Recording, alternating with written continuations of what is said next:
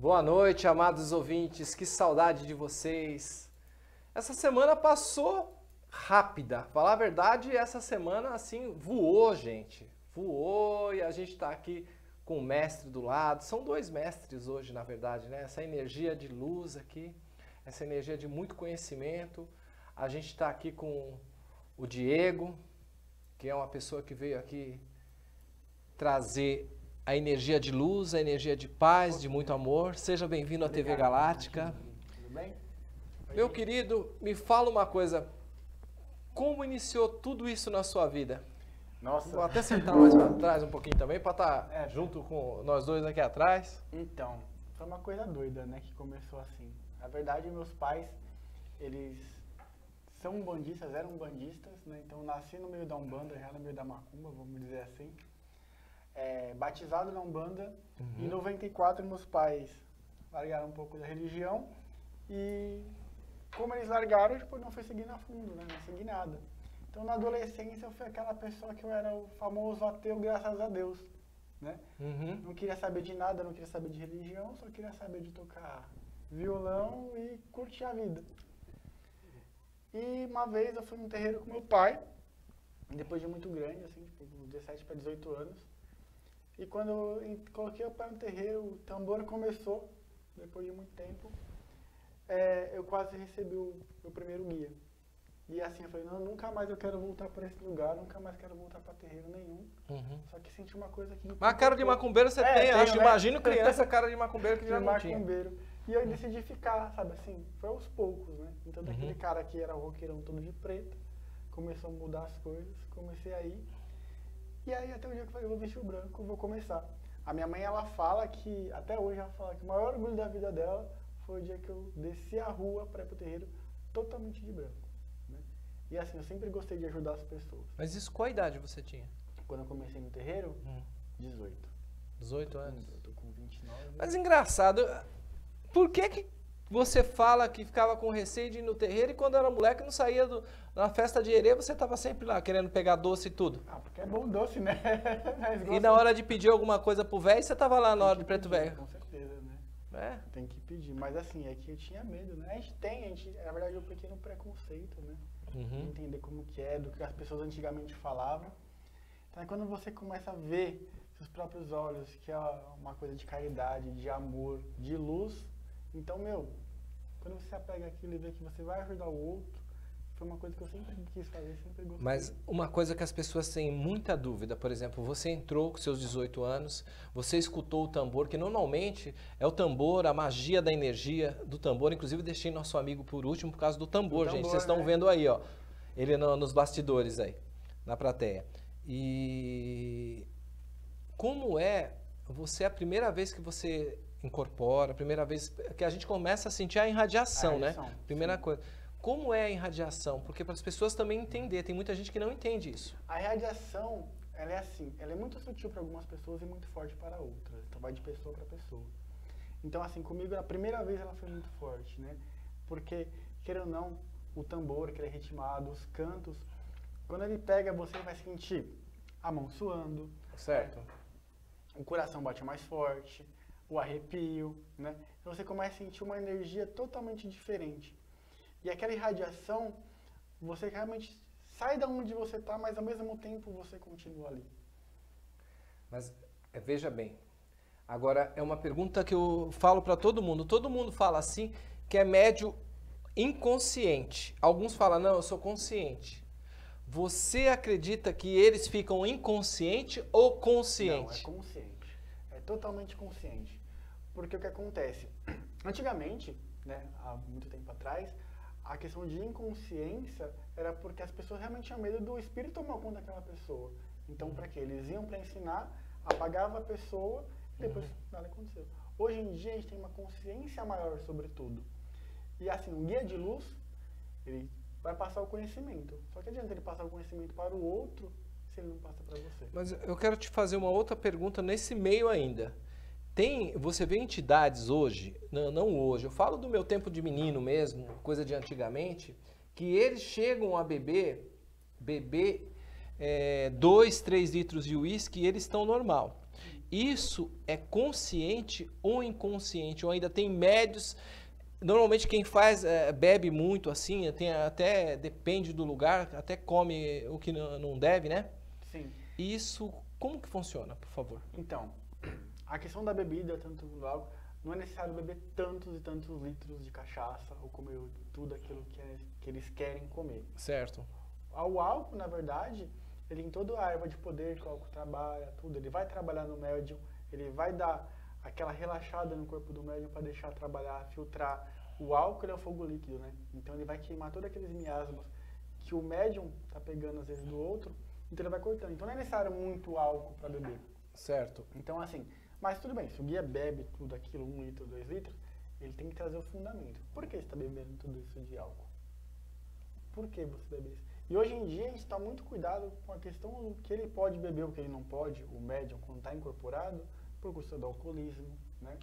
Então, assim, se a pessoa tem uma predisposição à tendência ao alcoolismo, uhum. se o guia dela está vindo beber muito... Uhum. Um pouco é ela também. Um pouco pode, pode ser ela, mas passou do limite daquilo que está bebendo, por que é necessário?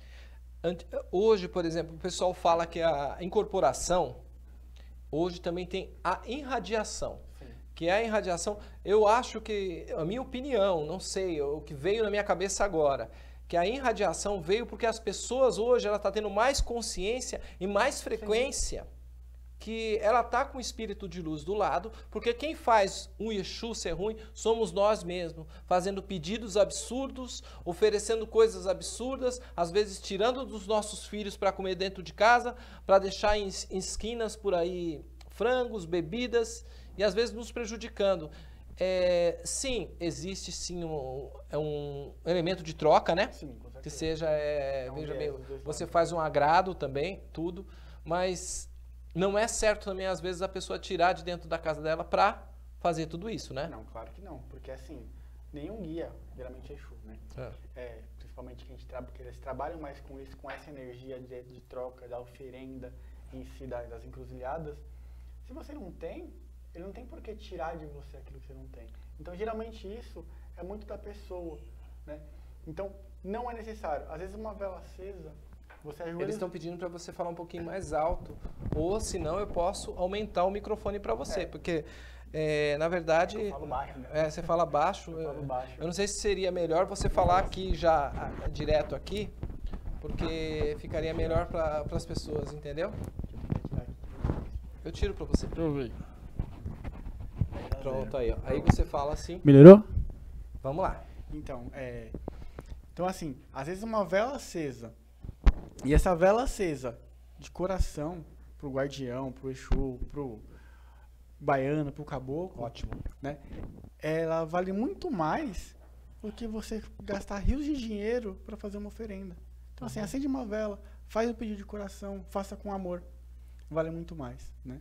E assim, o Exu ele é neutro, né? Ele não trabalha tipo nem bom nem ruim, ele é neutro. Então assim, as pessoas quando vai pedir, tem que saber pedir, porque uma hora a lei do retorno volta. Uhum. Eu, eu, eu, lembro há muitos anos atrás, isso faz uns 6, 7 anos. Aí eu fui numa, com uma amiga e ela falou assim para mim: Eu tô devendo um bode de uma oferenda e eu não tenho dinheiro para dar esse bode. Aí ela falou: Como é que eu vou fazer? As coisas estão dando errado para mim. Será que é por causa disso que eu tô devendo? Eu falei: Vamos fazer o seguinte: Vamos sentar, vamos fechar nossos olhos, vamos fazer uma projeção junto, vamos sair do nosso corpo. Ela falou, mas eu consigo? Eu falei, consegue. Vamos até o Exu que você está devendo e vamos explicar para ele que você está sem dinheiro, que você agora está dando para ele do mesmo jeito que você ia oferecer um animal, você está oferecendo para ele um, a energia de um animal para ele, de uma oferenda para ele, como em pensamento. Sim. E isso demorou, olha, um mês ela falou comigo, nossa, você acredita que eu estou outra pessoa? Por quê? A gente tem que ser sincero, não importa se é um espírito, uma entidade, a gente tem que falar sincero. a verdade. E eles entendem. Que... Eles entendem, né? Eles entendem mais do que a gente, eles entendem mais a nossa, a nossa necessidade do que o médico que está lá incorporado. Pô, ele pediu um bode, mas a pessoa não pode dar. Né? Então, para quê? Uhum. Tipo assim, ele entende. Ele fala, não, tudo bem, você não pode dar um bode. Você pode comprar um pedaço de carne, colocar lá, né? Mesmo sendo do açougue, coloca. Você não pode isso, acende a vela, coloca algum outro elemento que, que possa me ajudar, né? Então coloca aquilo. Não é necessário o pensamento, eles entendem o nosso coração, eles entendem a nossa mente. E a gente começando a falar sobre o Exu, que hoje muitas pessoas falam o guardião.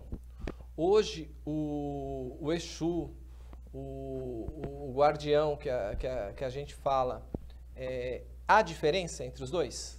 Não, não tem diferença. Exu é Exu e guardião, guardião. É a mesma coisa, né? Hum. Hoje se usa mais a palavra guardião porque, querendo ou não, Exu ficou muito pejorativo para algumas pessoas, ainda fora da, da Umbanda, fora do Candomblé. Certo. Então é coloca guardião, vamos dizer assim, para ficar apaziguar mais. E eles são, querendo ou não, os Exus são nossos guardiões. É eles que nos protegem, é ele que está ali no meio da encruzilhada. O que, que acontece? Que está entre a passagem dos dois mundos falando pra gente. Eu brinco, falo que o Exu, querendo ou não, ele é o policial, tipo, do mundo astral, né? Então, é assim, o que a gente chama as pombagiras polícia feminina sim. e os Exu poli, é, polícia, polícia, masculina. Né? masculina. Aí fala, ah, mas aí o que acontece? Todo lugar tem aquelas Galáctica, pessoas, né? É, galáctica. Tem todo aquele lugar que tem aqueles que são, vamos dizer, os bons, os policiais bons, e os policiais, né, que são corruptíveis, vamos dizer assim. Uhum. Tudo tem. Tem que saber trabalhar. Mas diz que esses corruptivos, às vezes, são alguns escravos de Exu também Sim, tem? também. Por quê? Eles têm que trabalhar nessa questão para quê? Para eles também evoluir e evoluir a outra pessoa também, o ser humano também. Ele é dual, né?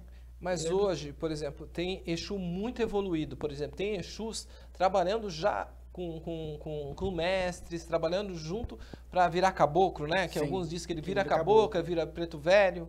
Sim, Como então, funciona tudo isso? Funciona por, vamos dizer que é, é o trabalho deles, né? Então assim, eles vão fazendo e eles vão ganhando graus. E cada grau que ele vai ganhando, cada grau que ele vai fazendo, ele vai evoluindo mais. E depende muito.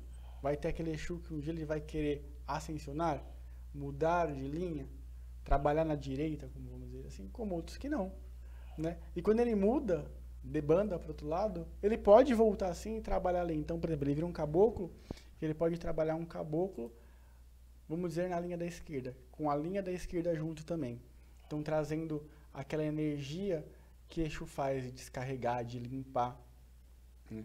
Então, não vamos falar que a, é, a questão evolutiva do Exu que está lá menos é menor. Não. Eles estão na mesma vibração. Mas uma outra coisa. Eu, eu, esquerda e direita, quem inventou não foi o, o próprio foi, povo? Foi o próprio povo. Porque para mim, gente, é o que a gente estava falando outro dia. É, é a frequência, é né? A frequência, pra, a frequência. Ah. Porque se não tem eles para balancear. Sim. Né? Exu, dizem que Exu é um mal necessário. Vamos falar assim, né? Uhum. É necessário do Exu. Em tudo é necessário. Assim, o dia precisa da noite. Né? Uhum. O frio precisa do calor. E aí a esquerda e a direita de Exu com os guias da direita. Agora eu vou chegar a você, como você é um sacerdote da Umbanda. Você é um cara que trabalha com a mesa estelar. A gente vai chegar lá, mas só uma pergunta a sua entidade, que você tem um, um guardião muito forte aí, uma energia muito forte de caboclo que eu sinto aqui, uma energia muito forte, eles aprendem também as mesas. Por exemplo, você pode estar irradiado fazendo a sua mesa com aquela frequência daquela entidade que necessita naquela hora. Por exemplo, você está com a sua mesa quebrando uma magia ali. Certo. Então, nessa hora, o seu guardião vai ajudar. Eles aprendem, sim. Aprendem, porque aprendem. tem muita gente é, que eles, não entende isso. Na que verdade, tem evolução, eles não né? aprendem porque eles já sabem. Já sabem, né? né? Quem está aprendendo é a gente. Eles é, já sabem tá... tudo. Então. Né? então, assim, muita coisa eles já sabem. E aí, o que acontece? A nossa mente, eles não podem trabalhar algo com a gente que a gente não sabe. Hoje em dia é muito mais difícil, né? Então, o que acontece? Quando a gente aprende, fala, agora eu posso usar isso. Uhum. Como ele vai falar para você assim, olha, Dorinhos, aqui é um anel se você não sabe o nome disso. Aí quando ele vai tentar pra você, ó, qual que é o nome disso, na sua cabeça vai ficar, eu não sei o nome disso, eu não consigo fazer, ele fala esse nome. Uhum. Mas ele já sabe. Porque lá no mundo espiritual tem livros para eles lerem, né? Tem uma biblioteca enorme. Então eles já sabem muita coisa antes da gente. Mas quando você começou aos 23 anos tocar um terreiro, como é que foi? Dos 23 aos 25, então, que foi assim uma coisa diferente mudando na sua vida? Na verdade, vida? com 23 foi quando eles pediram para eu começar, né? foi quando eles pediram pra... E eu fugi muito, eu fugi demais, porque assim, é, não é fácil. Não é fácil ter um terreiro, não é fácil ter uma casa, uns filhos para cuidar. A responsabilidade, ela dobra. O pessoal acha que é muita luz, né? Uma estrelinha assim. Uhum. Não é, porque, meu é filho de santo, é os consulentes que você tem que cuidar. Então você tem que cuidar deles, de, principalmente de você em primeiro lugar, tem que cuidar de mim. Uhum. Então assim, eu tive que fazer uma reforma espiritual para mim mesmo, dentro de mim, em primeiro lugar, porque senão como eu vou começar a cuidar? Aí eu fugi, fugi, fugi, fugi, até o dia que a minha esposa, a Gabriela, falou assim, não, agora a gente vai, vamos fazer. E aí eu comecei uhum. a tocar o terreiro e tá sendo incrível. Tá sendo maravilhoso, assim. Gente, como mudou minha vida, desculpa. que uma pessoa que nasce no, na espiritualidade e de repente você se torna um estelar, né? Porque a gente olhando para você já vê um pleidiano todinho em você, né? Alguns podem falar, não, tem um arcturiano, tem uma coisa, mas a gente vê a energia de você, que quando você está chegando, já está chegando ele junto. Lógico que você carrega um outro ser de cor azul clara, que está do seu lado, e quem carrega a espiritualidade hoje, eu falo para as pessoas que quer acreditar, acredite, que são os seres prateados, que esses anos, esse ano eles estão aí, né? Sim. Trabalhando junto com, com a espiritualidade, que são que estão nos terreiros hoje, né? Como que foi tudo isso? Conta pra gente. Difícil demais, porque até um tempo atrás, antes de eu conhecer o Rodrigo, aliás, quero agradecer o Rodrigo por estar aqui hoje, né? Que Rodrigo Campos, que é meu irmão, é meu ele é meu pai de santo, né? Uhum. Então, assim, agradecer muito ele. Quando ele começou a falar essa coisa de extraterrestre, não sei do que, eu falei, esse cara tá ficando maluco, porque eu não acredito nessas coisas, não. Uhum. Né? Aqui na Terra e já era. E quando você começa a ver, né? Você vê nave, você começa a ver, meu. E é um negócio muito doido. Quando eu era criança, até conversei uma. A primeira conversa com o Rodrigo que eu tive foi isso. Eu sonhava, quando eu era criança, que eu estava num lugar todo branco e vinha uns caras que eram os reptilianos, né? Tipo, todo engravatado, com cabeça de réptil, atrás de mim correndo. Uhum. E eu fugia daquilo lá. E falou, cara, você tá fugindo dos caras que quer te pegar de volta. Então é um bagulho muito doido. Uhum. Porque assim, não sou aquela pessoa que não sou tão contatado assim. Se eu sou, não tô sabendo. Né? Certo. Né? Então, foi muito difícil eu lidar com essa situação, né? É, cada coisa não. Primeiro, a questão de receber espírito, receber morto, depois conhecer extraterrestre é muito difícil para mim essa parte, porque eu falo, meu, tudo para mim é uma novidade. Tudo para mim isso é uma novidade. E cada novidade que vem eu agradeço porque está sendo maravilhosa. Certo. Essas experiências que você tem vivido hoje, porque muitas pessoas, é, a gente tem a discriminação de quem é um bandista, a gente tem a discriminação de quem é contatado, tudo tem essa parte de religião. Eu acho que, na verdade, Deus é um só, Sim. a religião é um só. Né? Como diz, né? Deus é brasileiro? Não, Deus é o mundo, né? É o mundo, né? Na é. verdade, é. a religião quem criou foi o homem, na verdade, né? Uhum. Assim, a espiritualidade é um todo, mas a religião quem criou foi o homem.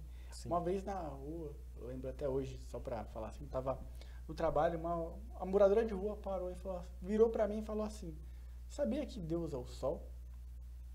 Porque ele tem vários nomes, o sol tem vários nomes. Né? Uhum. Então ele nasce para todos, brilha para todos. Algumas pessoas gostam, outras pessoas não gostam, mas está sempre ali. Cada um cultua de um jeito, mas está sempre ali, é um só. Não importa o nome que você dá.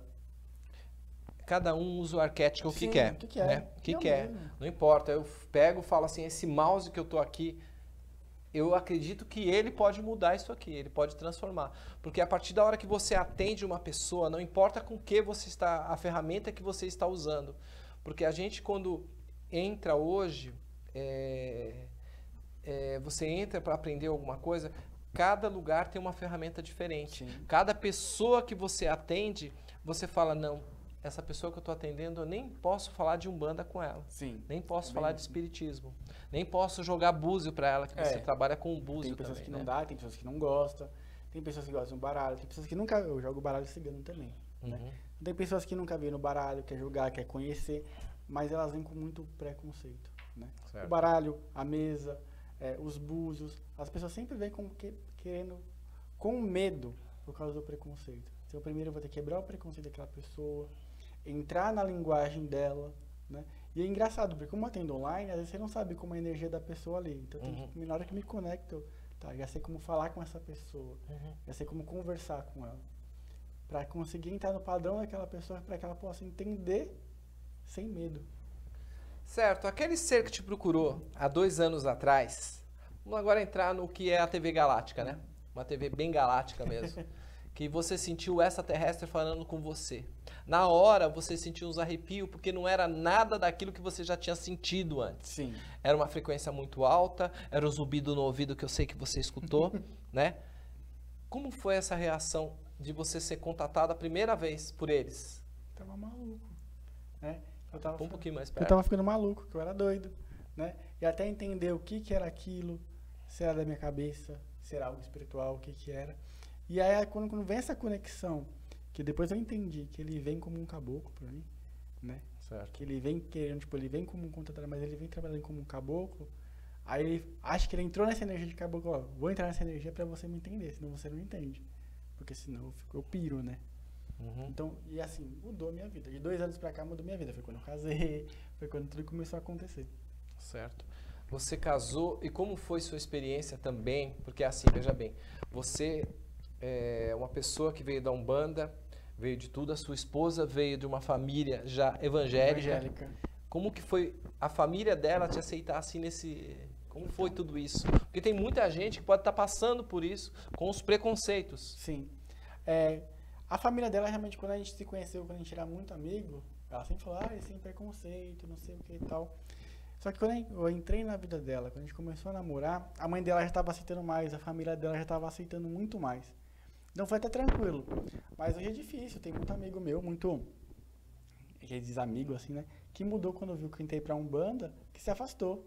Então, assim, as pessoas acham porque você entrou pra Umbanda, por você ser um bandista, por você ser é, do candomblé, espírita, você quer fazer o mal pros outros. Não é assim que funciona. E elas se afastam. Só que quando essas pessoas que se afastam, eu falo, é um livramento. Você tem que falar mais perto, ó. Todo Mais mundo perto? Tá, tá falando, eu vou até trocar o microfone com você. Pode ser que o seu esteja mais baixo. Não, eu mesmo falo baixo. Certo, mas eu... Pronto. Melhorou? vamos lá, vamos lá, agora senti, vai lá. Vamos lá. Então, assim, é, quando essas pessoas se afastam de você, é um livramento. Uhum. Porque se a pessoa tem um preconceito pelo que você gosta, pelo que você cultua e ela quer se afastar de você, é sinal que a defumação tá dando certo, né? Uhum. Então, assim, até com essa questão da Gabi foi muito tranquilo. Inclusive, quando você tira você, né?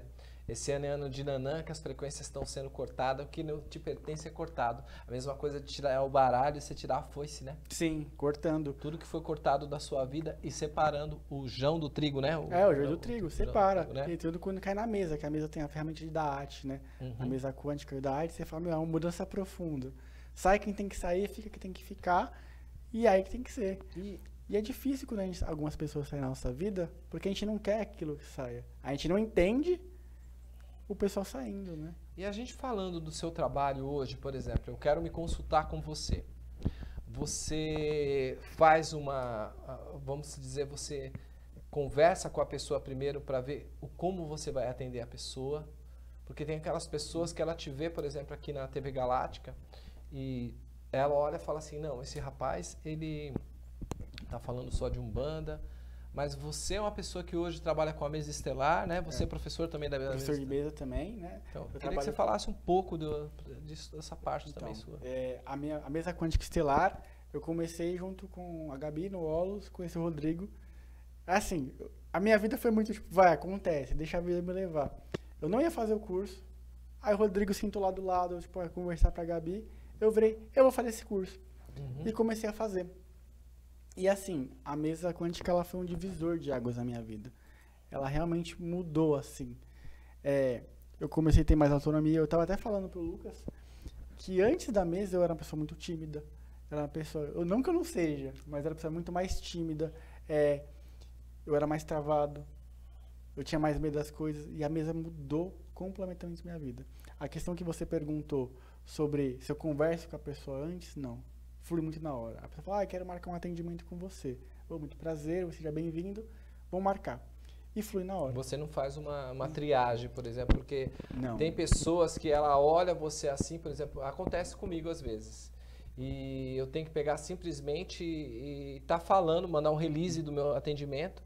E mesmo assim as pessoas ficam com dúvida, porque você sabe que nesse meio hoje a pessoa tem muita Ah, dúvida sim. e ela tem medo do que ela já sabe. Já sabe. E muitas vezes ela quer escutar aquilo que ela quer escutar. Quando você fala aquilo que ela não quer escutar, ela fala, peraí, eu acho que é porque eu escolhi a pessoa errada. E quando você deixa tudo bem claro, ó, eu atendo você, vou te atender com a mesa estelar, vou te atender com um búzio, vou te atender com um jogo de baralho, vou te atender com... Seja com qualquer ferramenta que você atender, como funciona? Então, geralmente as pessoas, quando elas não escutam aquelas que elas não gostam muito, não. Mas elas entendem, né? Então, assim, a pessoa vai lá e fala, ai, eu quero saber se eu ficar com tal pessoa. Não, você não vai ficar com tal pessoa, porque isso, isso, isso, isso aqui. Nossa, é verdade, ela é assim. E por que você continua nessa energia? Aí a pessoa fala, nossa, eu tomei um tapa na cara, né? Uhum. Então, assim, as pessoas, às vezes, elas vêm escutar, procurar escutar aquilo que ela quer, só que eu não vou mentir pra pessoa. Eu não vou acariciar a pessoa quando a pessoa tomar um puxão de orelha. Então, assim, ela vem ela realmente, a vida dela se transforma. Né? Com a mesa, assim, já cheguei relatos de pessoas que chegaram para mim com suicídio, querendo fazer suicídio. E eu cuidei da pessoa ali na mesa, tudo, e a pessoa, tipo, transformou a vida dela. Ela realmente muda. Porque, assim, se eu vou passar a mão na cabeça dela falar aquilo que ela ouvir, ela não vai mudar nunca. Uhum. Ninguém muda com passar a mão na cabeça. Certo. Outra coisa, a pessoa hoje, tem muitos aqui que não entende o que é um sacerdote de Umbanda. Você pode explicar um pouquinho, claro. por favor? Sacerdote de Umbanda, primeiro é o famoso pai de santo, como a gente fala, né? É a pessoa que está à frente do terreiro e ela não está só ali para auxiliar na questão de é, incorporação, na questão de ganhar os o, as qualidades que cada guia tem, ensinar a pessoa a desenvolver a sua mediunidade, aos seus valores. Hoje o pai de santo, tipo o sacerdote de Umbanda, ele cuida, vamos dizer, de uma comunidade. Né? Vamos dizer assim, que os filhos de santos são uma comunidade. Certo. Então você tem que cuidar daquela vida espiritual da pessoa, a vida dela espiritual, física, é, mental, financeira. Você tem que trabalhar tudo isso na pessoa. Então, a mesma coisa que um pastor, um padre faz, que é aconselhar, ah. o sacerdote está ali para aconselhar também. Certo. Cuidar do guia, do orixá, mas principalmente da pessoa, né? uhum. né? das pessoas que estão ali. Então ele vem aquilo para auxiliar, para dar caminho, direção. É, falar, olha, esse caminho é o melhor para você. Esse aqui caminho é melhor. Você quer ir por esse? Tudo bem, vai. Tá errado? Vai lá. Mas eu tô aqui depois para te levantar a mão. Ele sempre tá ali do lado. Seja para puxar a orelha, seja para dar os aplausos. E uma, porque a pessoa tem, o pessoal tem muita dúvida, por exemplo, tem gente que não entende, que nem a gente está aqui com o pessoal no, no até foi legal que ele respondeu aqui o rapaz, olha, a Daniel Danek.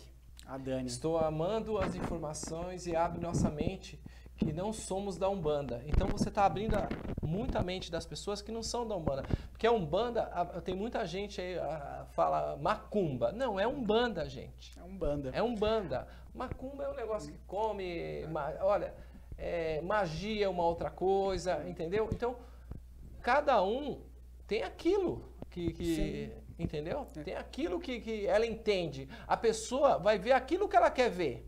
Se ela acha que um sacerdote da Umbanda é um macumbeiro, é um cara que vai fazer coisa ruim para ela, é o que ela está vendo. Acha. Não quer dizer isso. Porque Sim. a maioria das pessoas, ela pensa isso da pessoa. Verdade. É que, na verdade, macumba virou pejorativo, né? Que a macumba em si, a macumba carioca, ela vem muito antes de 1908.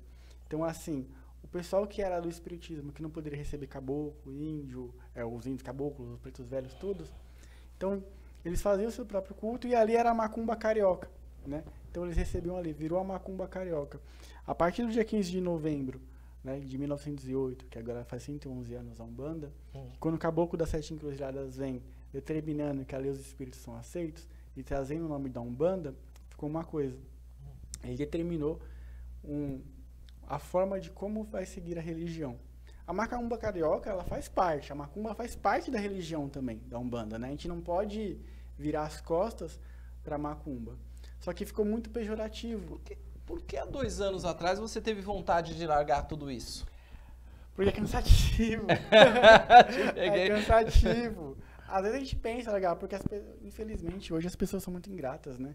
Uhum. Então você faz, você ajuda, você tá lá firme, forte. Daqui a pouco você levanta a vida de uma pessoa, não estou falando por mérito, mas assim, a pessoa, você levanta a vida da pessoa, a pessoa, tipo, ela aponta dele e fala, ah, isso é macumba, isso é não sei o quê. Então, quando você vê isso acontecendo, você se decepciona com pequenas pessoas. Né? Então, assim, você vê, esquece aquele tanto que você já ajudou, o tanto que já fizeram por você, e às vezes aquela fagulhinha lá, aquela pessoa que te apontou dele falou uma coisa errada, te faz querer desistir de tudo. Hum. Só que aí você tem que ver que essa responsabilidade é maior e falar, não, tenho que continuar aqui. Né? Então, realmente, tem horas que dá vontade de desistir sim. Há dois anos atrás, tive vontade de largar tudo e falar, quer saber, deixa pra lá, vou voltar a ser ateu. Mas o legal é que de, de, de nove meses pra cá, você vem trabalhando com uma linha nova, né? Com a linha, os ciganos pegaram bem forte em você, né? Eles estão pegando bem forte comigo. E assim, eu uhum. preciso começar, né? Tá, tô peneirando ainda para saber o que dá para utilizar, o que não dá para utilizar, o que, que, eu posso fazer, o que não posso fazer. Porque assim, o cigano, o Rodrigo, que é meu cigano, né? Ele trabalha comigo a vida inteira, assim. Ele é um cara que sempre esteve comigo desde quando eu falei, eu vou virar macumbeiro e já era, né? Então, assim, agora ele vem trazendo mais coisas, ele quer que eu, que eu dê cursos, só que os cursos que ele quer que eu dê, por exemplo, eu estava conversando com você lá embaixo, na parte da, da leitura de mão, o baralho cigano. Só que eu vou falar bem sincero, eu sou preguiçoso em algumas questões. Uhum. Então, assim, ele puxa a minha para trabalhar com essas questões. E tá vindo muita energia mais forte do cigano para mim. Porque o que que acontece? O, os ciganos são uma linha do Oriente que eles trabalham já na quinta dimensão. Então eles podem subir até a quinta dimensão, eles podem trazer a energia e outra coisa, eles trazem conhecimento do mundo todo. Sim. Não é, é, é tipo é, que vem só de um país, não. Eles são nômades, eles vêm trazendo, é, como hoje eu posso falar para vocês que eu tenho a energia, eu trabalho com oito ciganos diferentes, né? É uma Não energia. Mas isso. Não, mas é assim, eu venho engatinhando e é assim, eles vão dando o nome e que às vezes vira é uma frequência de um só. Sim. Como você está falando. Mas eles são uma falange que vive com a gente. São enormes. Né? É. E assim, uma questão do cigano que o, meu, o próprio Rodrigo, o cigano, ele vem me ensinando, é que hoje em dia a gente. Claro, isso é muito bom. Pintar os ciganos é uma coisa muito boa. Só que eles já sofreram muito. Né? E quando ele, ele falou assim: ó, estuda a história do povo cigano. Do povo cigano em terra. Que teve. Que aí você pega aqui, assim, eles sofreram no Holocausto lá, meu, tipo, mais de 2 milhões de ciganos foram mortos. Então, uhum. assim, tipo, quase uma população, foi quase dizimado eles. Então, quando você pega toda aquela história para contar e você fala, meu, tem muita coisa para trás pra trazer aí deles, né? Então, eles têm uma egrégora, eles têm um conhecimento muito grande de tudo, de ervas, dos cristais, é, de tudo, tudo. E você vê tudo que tem na cultura cigana, muita coisa que tem mundo afora, foi os ciganos que trouxeram. Eles vêm trazendo uma sabedoria muito grande. E é aonde eu falo para vocês que muitos ciganos que hoje não estão em terra, mas a gente mesmo que reencarnou agora, pode ser que a gente passou em outros planetas. Sim. Então, eu falo para você que tudo que hoje acontece na nossa vida, a gente traz também a energia de outros planetas. Como você disse, de lembranças, né? É, de frequências por exemplo, eu sinto uma frequência em você de paz, de calma. Parece que o programa aqui ele está em câmera lenta, tranquilo, porque você está deixando bem claro o que acontece, não é verdade? Ele está deixando bem uhum. claro que tá, o que é a umbanda, o que é você trabalhar como, com, a, com a mesa é, com a mesa quântica, o que é você trabalhar com um búzio e trabalhar com um búzio. Me fala, como é essa energia? É totalmente diferente.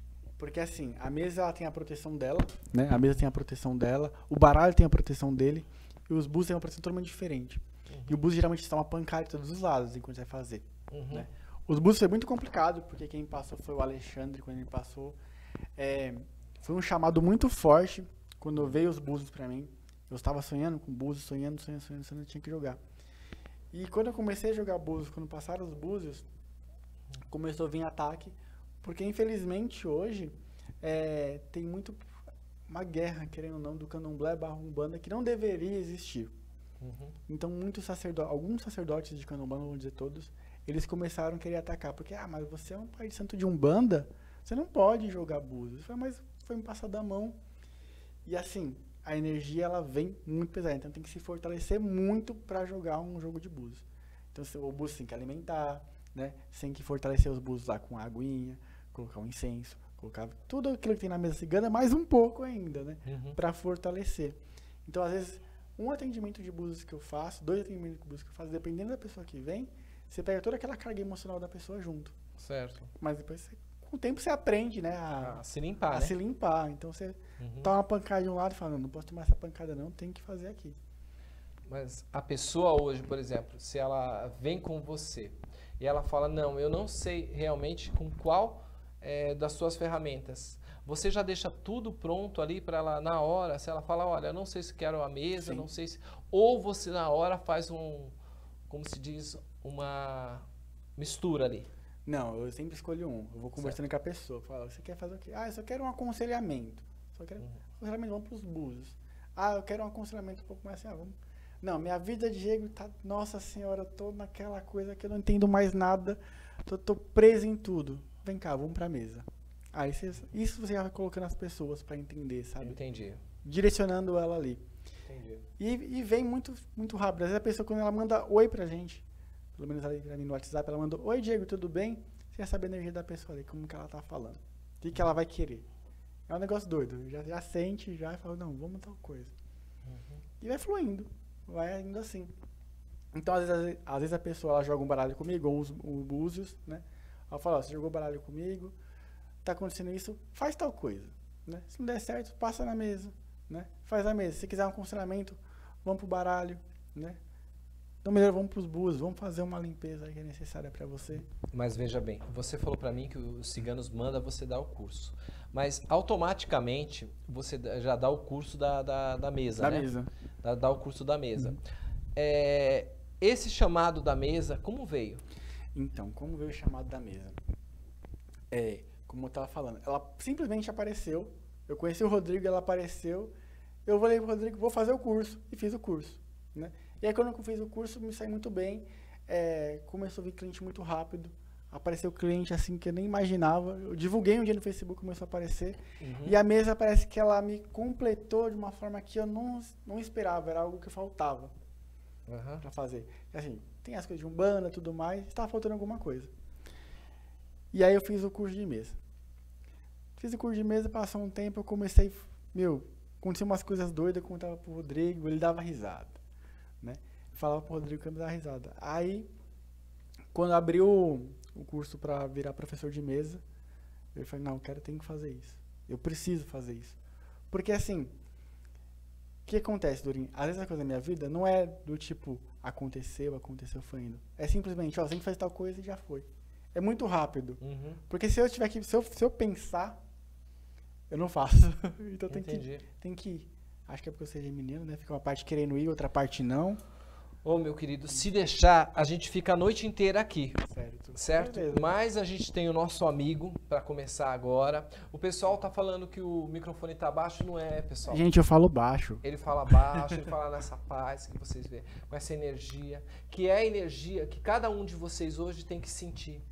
Às vezes aquele raiva que você sente da outra pessoa, você- quando a pessoa xingar com você, você a paz dele, você vai lembrar dele falando. Quando a pessoa tentar tirar a sua frequência, você tem que entrar na paz. Entrar em paz, né? Então, tudo que você está sentindo nesse microfone baixo, porque a gente já trocou, você vê que o, o meu continua tranquilo. Por quê? Porque ele está automaticamente ensinando a mim que eu falo alto, que eu tenho que falar mais baixo, tenho que ter mais paciência, mais calma, porque o rapaz vem com ensinamento. E peço para vocês, se ficou baixo, me desculpa, mas É, desculpa. Gente, ele passou um ensinamento para vocês. Hoje foi uma palestra dele aqui. Para quem não entendia muito bem da Umbanda, tá? Vocês podem deixar as suas perguntas aí que depois eu tenho certeza que ele vai entrar, vai passar o contato para vocês. Qualquer coisa, tem o telefone da TV Galáctica, pode entrar em contato comigo que eu passo o telefone dele, passo o telefone do nosso amigo direto para vocês. Certinho. Eu quero te agradecer, mas você agradeço. tem dois minutos para você passar seus contatos. Perfeito. Gente, meu Facebook é Diego H. Nunes. O meu WhatsApp é o 11 98760 2298. 11 98760 2298. E tem o Instagram que é Diego Agassi. Pode me seguir lá, que eu sigo vocês de volta. Mandar mensagem no WhatsApp, tirar, que eu tiro dúvida de todo mundo. Aliás, é uma coisa que eu quero falar, que meus clientes viram todos meus amigos. Né? Então, assim, se você quer lá conversar, fazer um atendimento comigo, Depois já vira um amigo, vai papear bastante. Eu fico mandando até meme pros meus clientes. Então, gratidão, gente. Muito obrigado. Obrigado, Rodrigo. Beijo a todo mundo. Eu que agradeço você. Gratidão? TV Galáctica está de portas abertas, Espaço Galáctica de portas abertas. Gratidão. Tá bom, meu querido? Obrigado. Pessoal, vou só tomar uma aguinha, dois minutinhos, eu tô voltando aí.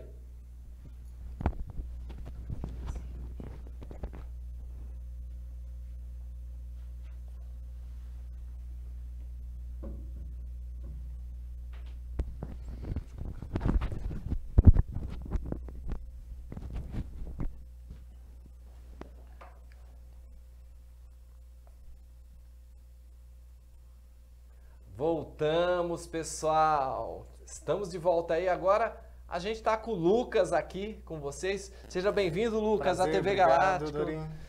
É uma energia maravilhosa, gente. Você vê? Sai um mestre e entra outro, gente. E outra coisa, gente. Esse rapaz, ele tem uma, uma frequência, uma energia assim muito forte, uma paz que muda muito a energia de todos nós. É, hoje nós tivemos a primeira palestra com o Diego. E agora, foi uma palestra, nem posso falar que foi um programa. Agora a gente está com o Lucas aqui, que vai. Eu vou deixar ele à vontade, contando sua história. Fica à vontade, Lucas, pode falar sua história. Primeiro gostaria de agradecer o Rodrigo, né, que intercambiou esse encontro nosso aqui, Uhum. agradecer à TV Galáctica, ao, ao nosso irmão Diego por realmente passar esses ensinamentos para todos nós. Bom, minha história é talvez um tanto quanto igual a dele, proporcionando aí as experiências, cada um na sua, mas comecei desde muito cedo com a curiosidade pelo lado espiritual. É, tive uma experiência desde pequeno no meio espírita e assim eu fui indo até a fase da adolescência, quando aos 14 anos eu decidi parar um pouquinho com tudo. Né? A fase da adolescência fica aquela coisa, se vai, não vai, vai, não vai. Por fim, fiquei um tempo fora, voltei aos 16 anos, eh, numa casa lá em Jundiaí, na Vila Hortolândia, que estou até hoje, e me abriu a cabeça para estudar muitas coisas. E na fase de escolher a profissão, quando logo acabou o colegial, a única certeza que eu tinha assim de imediato é que eu não queria fazer faculdade. Certo. Mas, porventura da situação, acabei fazendo a faculdade, né? Me, me inscrevi numa faculdade de engenharia, fiz Certo. um tempo, depois desisti.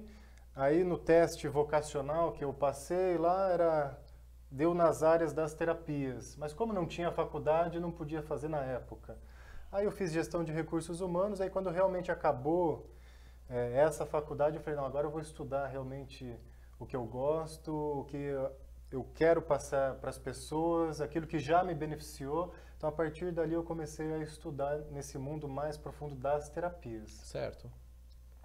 Mas, veja bem, eu vejo o seu início não foi fácil, porque você tinha muita curiosidade, não tinha medo, você foi uma pessoa que não teve muito medo, mas dentro de você alguma coisa falava, eu tenho que ajudar as pessoas, porque você tinha uma missão e você, desde berço, que eu vejo que você, mesmo como criança, você conseguia repartir seus brinquedos com as outras crianças. Sempre, sempre. Porque você já vinha com a missão Uhum. desde criança. Como foi a sua parte na infância? Porque eu vejo você.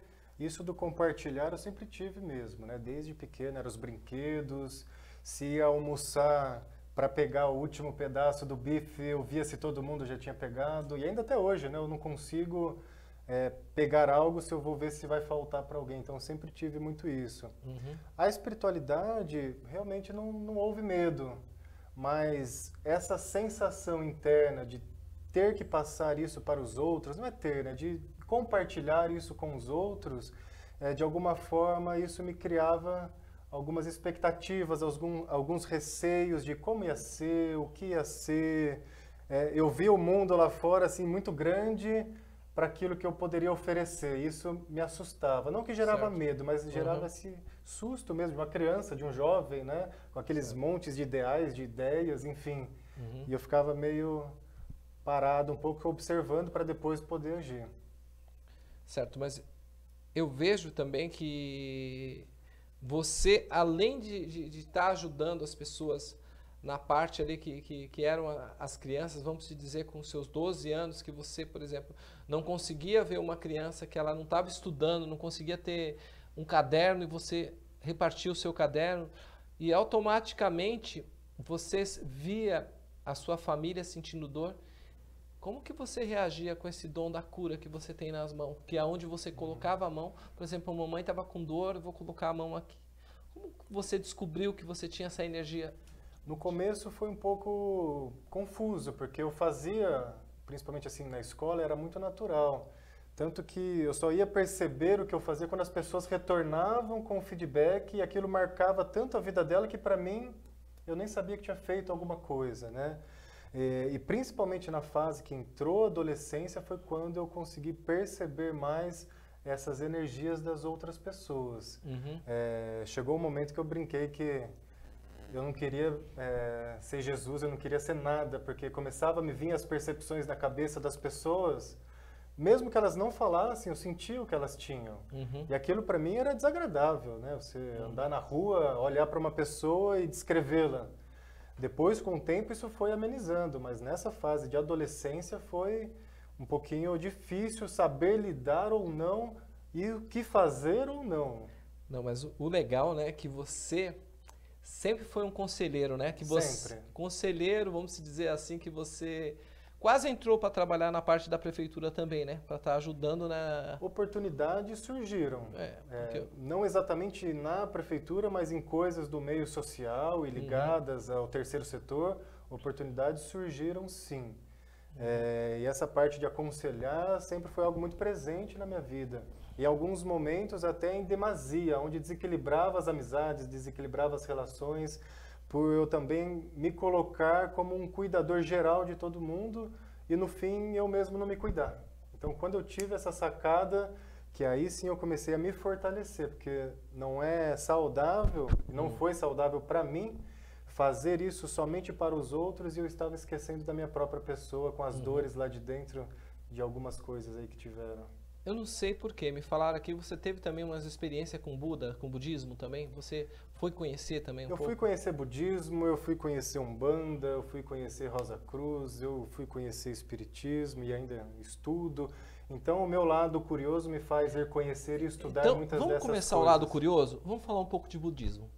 Fala um pouquinho o que você tem para falar para as pessoas sobre o budismo, porque é muito interessante. Sem isso. dúvida, o budismo é uma prática, né, que através das meditações principalmente nos faz entender e deixar com que a nossa mente fique saudável. Então tem os mantras, os mudras e a própria filosofia de vida. Se pegar o budismo, por exemplo, e hoje com o que a gente fala de xamanismo ou de outras religiões, né? o budismo advém dos povos nativos lá de uhum. trás, né? Uhum. Eles veem Deus em tudo. Então, desde um inseto minúsculo até o universo como um todo tem uhum. o pulsar da vida de Deus, né? Isso. E o próprio budismo se divide em vertentes, mas todas elas passam por esse processo do autoconhecimento e da iluminação interna, né? O Buda é o iluminado, né? Então certo. é o caminho nosso, é que a gente vai tomando outras estradas do que não exatamente as práticas do budismo. Certo, aí você saiu, foi para Umbanda. Como foi a Umbanda? A Umbanda foi um pouco depois, né, que eu fui estudar Umbanda e também estudo até hoje, estava conversando com, com o Diego. É, quando surgiu os arquétipos no meio espírita, que eu fui ver preto velho, caboclo, eu fui buscar fonte que me explicasse aquilo. Certo. Porque eu funciono um pouco assim, eu preciso ter uma informação para entender o que é feito. Então eu fui buscar é, a fonte lá com o Zélio, tem até hoje a tenda espírita Nossa Senhora da Piedade, no site os áudios do Zélio, os textos do Zélio. Eu fui buscar Diamantino Trindade, que tem uma obra fantástica da história da Umbanda no Brasil, que já está, se eu não me engano, no nono volume, onde ele traz dados históricos, mostrando todo o movimento. E aquela parte de aconselhamento do terreiro, né, que a essência da caridade, a essência da Umbanda, não é diferente do que é no Espiritismo, do que é na Igreja Católica, do que é no budismo, quando se diz de um ser humano olhar para outro ser humano e deixar essa energia maravilhosa da espiritualidade trabalhar através de um médium. Né? Então a Umbanda ela é fantástica. Eu falo que uma pena que os umbandistas muitas vezes não entendam a própria Umbanda, que as pessoas muitas vezes não entendam a própria Umbanda. Que bom que hoje tem pessoas como Diego e outros sacerdotes podendo levar além da prática o conhecimento para desmistificar muitas coisas, né? É, porque tem os falsos profetas, tem os Muitos. falsos terapeutas, tem os falsos tudo. Em todas as áreas. Em né? todas as áreas. E tem falso em todo lugar, Sem né? Não dúvida. importa a, a profissão da pessoa. Aí você me falou que passou pela Rosa Cruz, como foi? A Rosa Cruz em si eu não cheguei a me associar ou me filiar a eles, né? Mas eu recebi lá as primeiras monografias para ver se você quer entrar ou não quer entrar e eu vi que os estudos dele, de alguma forma, eram os estudos que eu já fazia por outras fontes, como da bioenergia, da grande fraternidade branca, a própria prática da meditação, que é muito forte no conceito da Rosa Cruz. Então foi mais a título de conhecimento como espectador de fora. Não cheguei a entrar dentro do movimento de uma loja ou de um capítulo, né? Como filiado, e sim de conhecer. E eu vi que falava a mesma língua num outro lugar.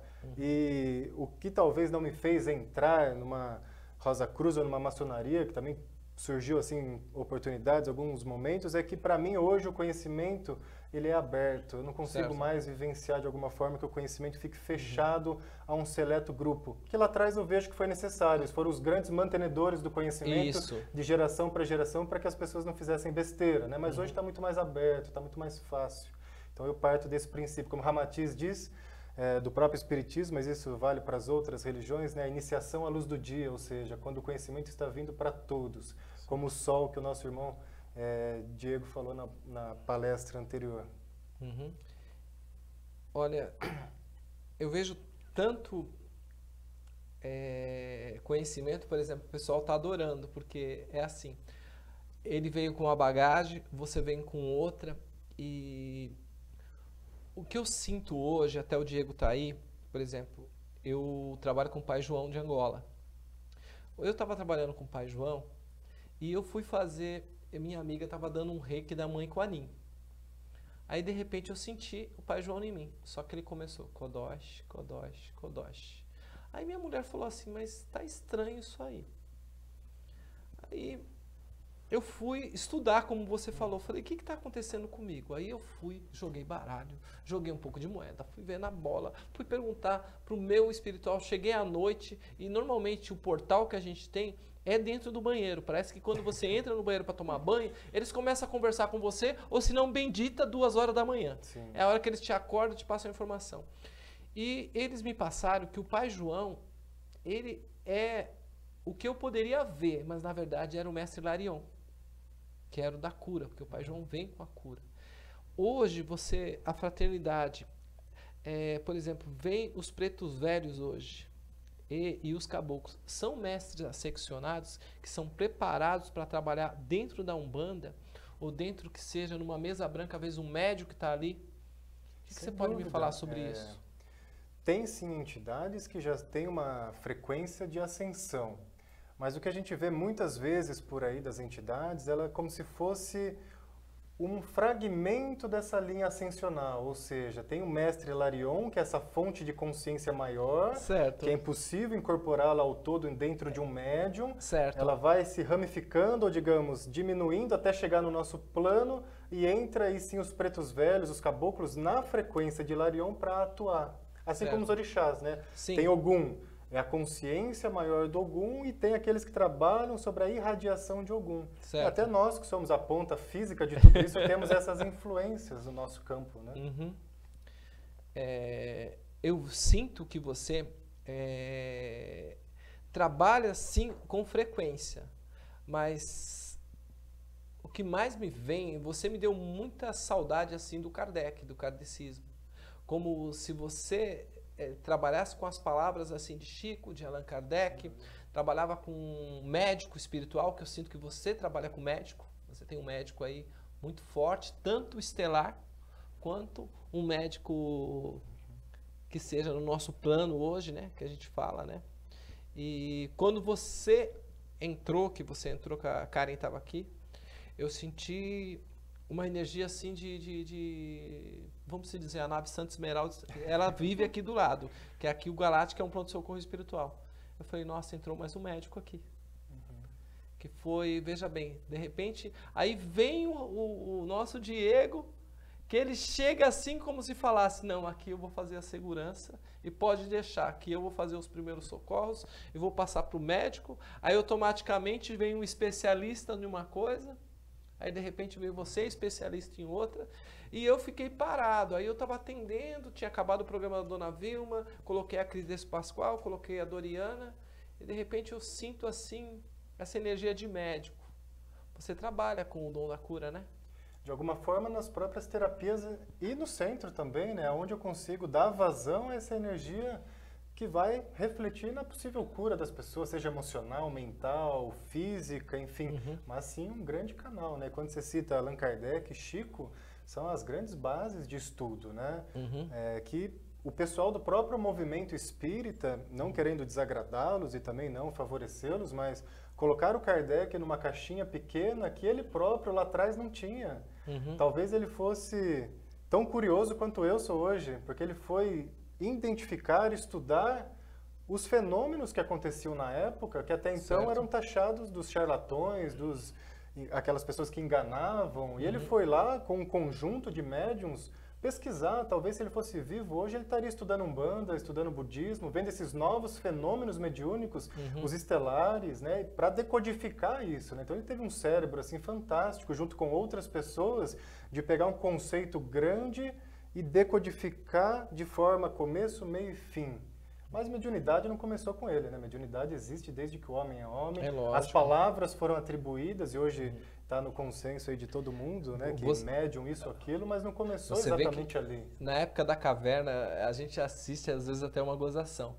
Mas às vezes fala, ah, tô com uma dor, não sei o que. Ele batia com a pedra Sim. e curava, porque era aquilo que ele uhum fazia. Tinha disponível também disponível na época, hora. Né? As pedras, as plantas, Sim. o fogo, quando surgiu o fogo, os cantos, os rezos. Certo. A energia dos animais, tudo uhum. era que estava disponível. Né? Hoje certo. a gente tem tecnologia, a gente tem outras coisas disponíveis, uhum. então a gente vai se adaptando ao tempo. É, tem inclusive no Japão, não sei se você ouviu falar, que tem um, um aparelho agora, que por exemplo, você, eu tô com uma dor. Ele passa como se estivesse procurando um objeto de metal em você, ele vai passando no seu corpo, aí onde está quebrado, onde está doendo, Sim. se tem alguma inflamação, como se fosse um raio-x direto, Sim. um pequeno aparelho. É uma mediunidade no aparelho, né? No Porque aparelho. tem muitas pessoas que conseguem fazer esse rastreamento de forma energética, né? Uhum. E é, você hoje trabalha numa casa hoje? Sim. Hoje eu trabalho numa casa em Jundiaí, chama Casa Espírita Amor e Luz Real. É uma casa com as suas bases de Allan Kardec, mas que abre para os estudos e para a manifestação de todas as linhas, porque, como o próprio nome diz, o que vale é o amor e a luz. Independente da forma e, enfim, das, dos rótulos, o que vale é a mensagem. Como o próprio Kardec falava, né? não se importe com o nome e a forma de falar, uhum. mas sim com o conteúdo da mensagem. Então, tudo que está dentro do amor e da luz está dentro da casa. Né? E a base, sim, de estudo são as obras básicas, é Chico, dentre outras. É, Dr. Bezerra de Menezes, Dr. né? Bezerra de Menezes, que também tem uma curiosidade de Bezerra de Menezes, contado no livro do Divaldo, Manuel Filomeno de Miranda, onde ele vai trabalhar num terreiro de Umbanda e uhum. segue as regras daquela casa. Olha a humildade do ser, né? A gente é que separa e rotula as coisas, né? Ele, se, ele desce em terra como um preto velho ali, porque precisava fazer um trabalho ali. Né? Muda o nome, muda a roupagem, uhum. muda a fisionomia astral para trabalhar numa casa de umbanda. Né? Aí um espírita não passa na frente de uma casa umbandista porque tem preconceito. E eles lá em cima não têm, né? Nossa, olha, veio uma pergunta aqui, bem... Num dos livros do Chico, ele menciona, inclusive, que as pombagiras eram necessárias na ajuda dos terreiros também, e na ajuda, inclusive, da proteção de uma casa kardecista, entendeu? Se você pegar as obras de André Luiz, a coleção Na Vida no Mundo Espiritual, que se eu não me engano são 13 livros, uhum. é, ali está tudo. Só muda muitas vezes a palavra, mas ele cita os guardiões, ele cita a proteção das casas, eles citam que quando alguma coisa sai de ordem, vem esses espíritos para retirar. Uhum. Ele cita as viagens subcrostais, aonde quem acompanhava? Os senhores Exus e as senhoras Pombagiras. Sim. É, só que muita coisa foi filtrada pelas editoras da época, muita coisa foi filtrada pela própria federação da época. Uhum. Mas o conteúdo está tudo ali, não tem nada de diferente. Ele próprio, quando atendia com o Dr. Bezerra de Menezes, uhum. ele receitava ervas, ele receitava homeopatia. E hoje isso não é aceito em nenhum centro federado. Hoje isso não é mais aceito. E o próprio Chico, naquela época, eu brinco com a minha arrogância um pouco, de falar que ele só foi aceito pelo tamanho que ele tomou. Que ele foi maior do que qualquer federação, ele foi maior do que É qualquer pessoa. Foi verdade. E hoje um preto velho, quando dá consulta e receita o seu remedinho, ele é taxado num lugar que não é tão bom assim. Sendo que os grandes baluartes do espiritismo também faziam isso lá atrás. E uma coisa que eu li, né, que você mandou um release para mim, que me deixou também muito feliz, é que você trabalha com a constelação familiar. Trabalho com a constelação familiar. Porque hoje a gente vê muitas famílias, elas se distorcendo, se espalhando, e sem saber hoje, que, como se diz, até fazer um evangelho no lar, Sim. né? E você vem com esse trabalho maravilhoso. Como funciona esse trabalho? A constelação familiar, né, ela surge. Na verdade, você pega origens dela desde os povos nativos, né, e ela vai se adaptando, mas é, da forma que a gente conhece hoje, ela surge com Bert Helling, que foi um alemão, que faleceu agora mês passado, aonde nas suas vivências, na sua experiência de vida, ele decodificou ela também nas ordens do amor. O que, que são as ordens do amor? São leis sistêmicas aonde se nós conseguirmos compreendê-las, a gente aprende a se posicionar na vida e ter uma vida que esteja em harmonia. Então, nós aprendemos, por exemplo, que a hierarquia é muito importante para que todos possam viver de forma saudável. A hierarquia vai dizer o quê? Que todos aqueles que vieram antes de nós, os nossos ancestrais, têm uma importância muito grande. Eles têm mais direito, eles têm mais precedência, porque a força da vida passou primeiro lá, para depois chegar aqui. Hoje, se a gente tem uma TV galáctica, é porque alguém começou ela. Verdade. Teve alguém que iniciou. Então, se não fosse o ato inicial de começar, eu não estaria aqui hoje. Certo. Se eu quebrar essa hierarquia, por exemplo, assumindo o lugar que aqui é seu, vai haver um conflito. Isso muitas vezes acontece nas famílias. Hoje, infelizmente, a gente vê as crianças tomando o papel dos pais. Sim. Crianças muito pequenas eh, têm já uma responsabilidade muito grande, ou os pais, por terem sido reprimidos muito nas suas gerações, hoje deixam as crianças fazerem tudo. Isso há uma quebra de hierarquia. E ela vai perdendo o jeito de viver, vai criando um conflito. Assim como tudo que a gente exclui da nossa vida volta lá na frente de novo para que a gente olhe, que é a lei do pertencimento. Todas aquelas pessoas que de alguma forma a gente exclui do nosso coração, todas aquelas situações que não foram muito bem digeridas, o sistema ele não consegue compreender as exclusões, por quê? Ele fica frágil, ele vai se fragmentando, como se eu pegasse as pecinhas do quebra-cabeça e fosse jogando fora. Então eu trago essas peças, monto o quebra-cabeça, ensinando ao sistema que agora é uma nova fase, um novo momento, que não precisa mais ser como foi, que a partir de agora pode ser diferente. Então você pega uma pessoa, às vezes ela tem relacionamentos, ela tem quatro relacionamentos. Aí você vê o padrão, são todos iguais. Por exemplo, mulheres que encontram homens que a fazem ser submissas. Certo. Um, dois, a gente brincar, essa tem o dedo podre. Certo. Não é que tem o dedo podre, é que alguma coisa lá atrás não foi muito bem vista. E o sistema está gritando: olha, cuida disso, melhora nisso. E através da constelação, da dinâmica da constelação, a gente consegue identificar tudo isso. E, principalmente, que é o melhor de tudo, é reorganizar de forma saudável, cada coisa no seu lugar. Tanto que a tradução mais correta da constelação familiar, para alguns eh, tradutores, seria posicionamento familiar. Se pegar direto do alemão para o brasileiro, para o português aqui, que a gente fala no Brasil, é posicionamento familiar, para a gente aprender a se posicionar na vida.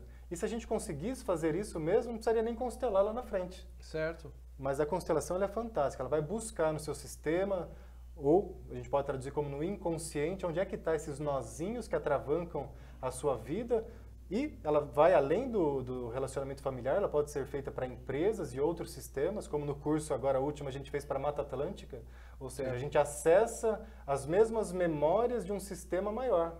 E aí trabalha isso através da dinâmica da constelação, organizando tudo isso. Eu assisti um rapaz que ele estava falando que quando ele faz a constelação, também nisso entra o gato e o cachorro, porque eu até vi como se fosse eu. Levei minha cachorra no veterinário hoje. Ela está com seis anos e ela passou dois anos da minha vida no começo. Eu tinha duas escolhas. Ou eu comprava para cachorro grande, que eu tinha um Rottweiler e e uma vira-lata na época, e a Poodle. E eu comprava aquela ração grande, Lester. Levei ela hoje, no, no- depois de, de seis anos, agora no veterinário, no dentista. Ela estava com os dentinhos quebrados e problema na gengiva, até vai fazer uma cirurgia. Mas isso eu percebi que foi uma lição para mim, porque na época eu não tinha condições uhum. de cuidar dela, de, de dar uma ração separada delas. E nisso, hoje, ela faz parte da minha família. Então, o que ela está passando hoje foi culpa minha. Então, de algum meio. E hoje eu tenho que dar um jeito de me perdoar e, ao mesmo tempo, agradecer a ela pela lição de vida, porque ela sempre estava no meu pé, ali feliz, mesmo quando eu estava na situação difícil. Até me emociona uhum. de falar, e hoje eu senti isso na hora que eu levei ela no veterinário. E muitas pessoas procuram o constelador também, e ela não vê que o animalzinho ou a criança, como você falou, que está ali, que é uma criança hoje, são crianças que tivesse como se ela nasce já com cristal, não é nenhuma mente, é um cristal uhum. Que ela vai aprendendo muito rápido as coisas e os animais também estão assim. Isso acontece também nas famílias, os animais também, você tem que fazer Acontece. e ensinar eles também a cuidar do animal. Como o animal ele entra né, no núcleo familiar, uhum. é, e quando ele entra muito forte mesmo, como se fosse uma parte da família, como um ser humano, a partir dali, assim como a criança, se você for pegar friamente, né, sem o conceito poético da família, a menor parte que vem depois, ou seja, as crianças, ou o próprio animal que entra depois, eles passam a ser como, digamos, aquele que vai refletir o que está no, no interno de cada um que não foi muito bem resolvido. Certo. Então, os animais, muitas vezes, refletem aquilo que as pessoas estão sentindo, assim como as crianças. Muitas vezes, os pais têm os conflitos, como eles não extravasam, não cuidam dos seus conflitos, aquilo passa pela criança, que é como se ela pudesse dar voz ao sistema, falando: oh, alguma coisa não está legal, certo. olha para mim. Olha para mim, mesma coisa o animal, teve um sintoma, olha para mim, olha para vocês todos, né? O que, que vocês certo. estão fazendo? E aí, a constelação tem pessoas, inclusive profissionais, que trabalham exclusivo com constelações para bichinhos. Uhum. Para olhar o que está em volta desse animalzinho, Nossa, né? Muito legal isso. Como das crianças, né? Pena que hoje, ao invés das famílias olharem para as crianças com amor e carinho, olhar para os animais com amor e carinho, estão dopando as crianças, né? Estão dopando os animais para que não surja o sintoma, só que a situação não foi resolvida. Então, a constelação, como outras técnicas em si, tem a condição de identificar e trabalhar isso na origem. Uhum. E não só dopar o sintoma, né? Tira certo. o sintoma, mas a situação não se resolve. Uhum. E muitas vezes as famílias, elas têm mania de jogar a culpa nos outros, né? Sim. Porque é muito fácil você estar tá passando por uma situação difícil e falar, não, a culpa não é minha, a culpa é disso, a culpa é daquilo. Nunca a pessoa assume. É uma parte sua também que... Sem dúvida. Bert até tem uma frase que ele fala que todo aquele que se lamenta ele não quer agir. Certo. Porque nós, quando nos colocamos no papel de vítima, seja em qualquer situação, impede com que a gente tenha uma ação para resolver o problema. Então, todo lamento que nós fazemos, e a gente vai fazer porque a gente é ser humano, é, a partir de hoje a gente pode começar a refletir o que eu não quero agir, o que eu não quero olhar, o que eu ainda não estou pronto e preparado para enfrentar literalmente de frente, ali, olho no olho. Então, assim, é mais fácil tirar a situação que é minha e pôr no outro, né? Uhum. Então, a gente culpa a política, a gente culpa o vizinho, a gente culpa o marido, a esposa, o filho, mas não olha no espelho e vê que você próprio está uhum. fazendo mal para si. É verdade. Então, a gente delega, né? E aí a situação não dá certo e fala, a culpa foi do outro, mas e o seu papel?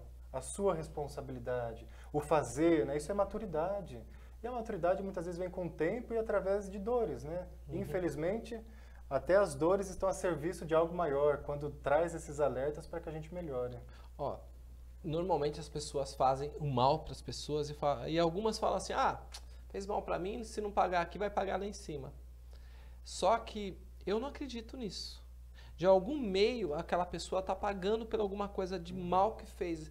Ela pode não perceber, mas às vezes ela está é, por exemplo, a perna dela está encurtando, uhum. uma ficando mais curta, porque tem pessoas que ela tem 1,90m quando ela está com, 50, com 40 anos. Chega a 50, passa a 1,86. Chega aos 60, uhum. até com 1,70. Isso ela não percebe que também é um tipo de cobrança, né? E muitas vezes da própria consciência dela, porque sabe o que ela fez. Então é trabalhar tudo isso para que não haja lá na frente, né? Porque às vezes, por nós sermos espiritualistas ou acreditarmos que existe a vida do lado de lá, uma próxima, a gente vai deixando tudo para lá, né? Mas não, as coisas voltam assim, principalmente agora, muito rápido.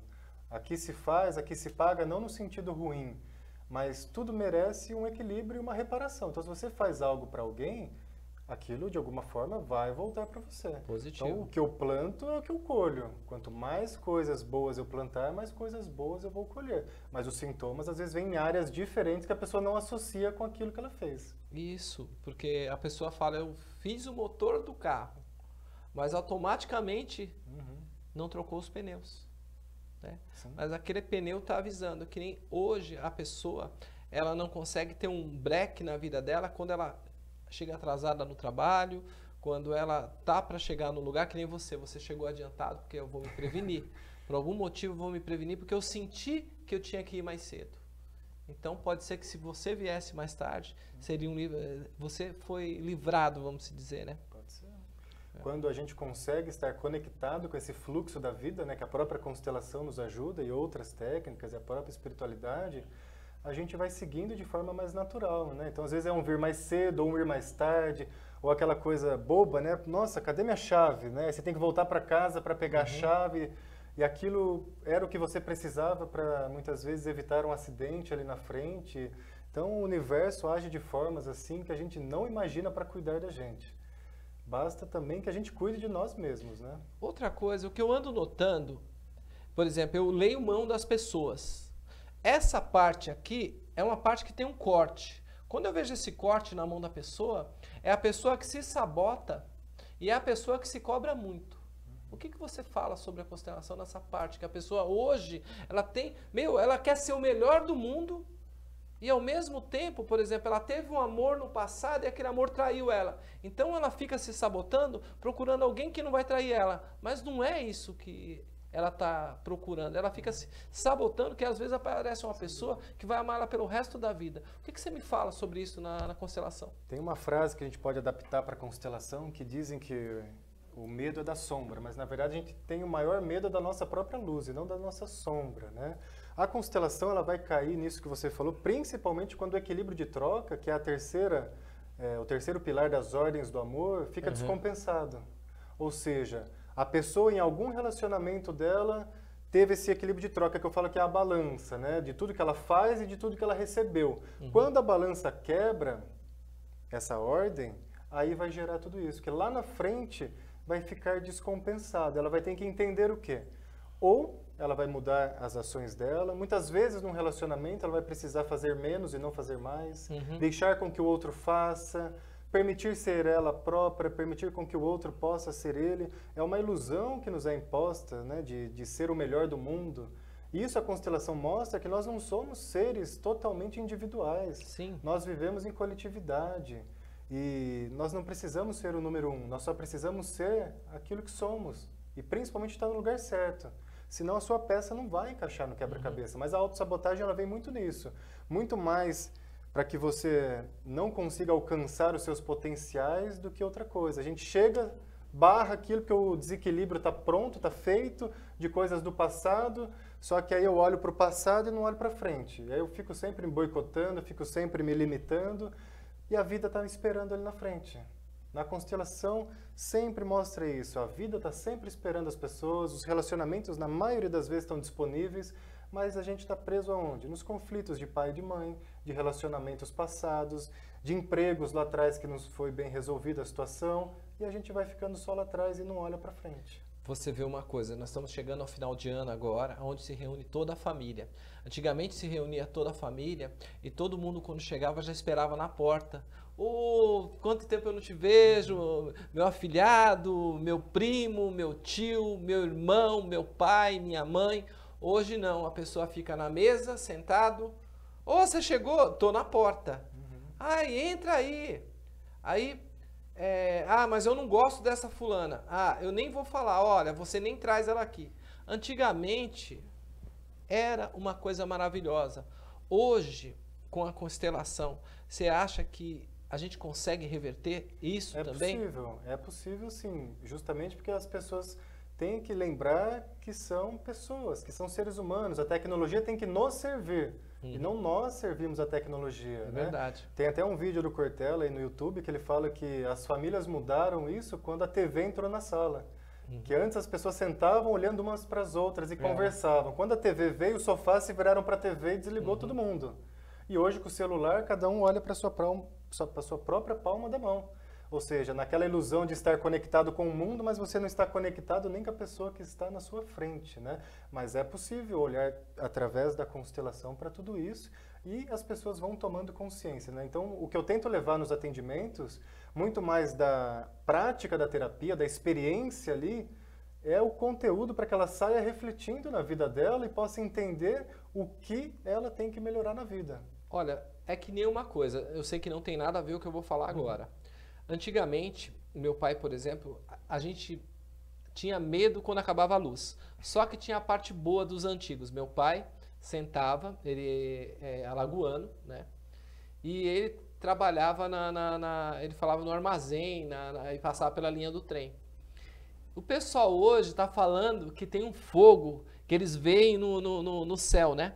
Meu pai contava a história pra gente que chamava de fogo selvagem que era o fogo que corria atrás da gente, né? Uhum. Então, na, você vê, eu tô com 51 anos, meu pai contava isso aí quando eu tinha 7 anos e ele falava que ele tinha 14.